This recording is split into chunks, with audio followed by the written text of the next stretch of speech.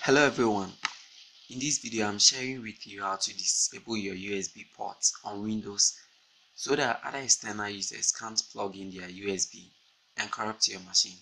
It is very simple, just go to start and type in run. Type in Regedit and select yes. Now, excuse me, now locate HKey local machine and go to system. Go to current control sets and click on services. Now scroll down till you reach USB store. This one, USB store.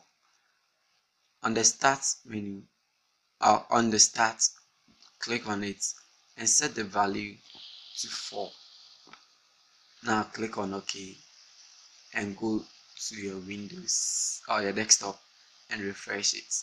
Now any usb that you plug into your machine will not be accessible. So i just plug in a usb and nothing shows up over here so let's go back to the start menu run and Regedit so we locate the system services. Let's go to start again. Go to start sorry.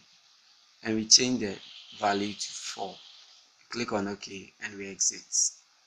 Now let's refresh our computer and I'll put in a USB and the USB just comes on so that's how to disable your USB ports from external users using it.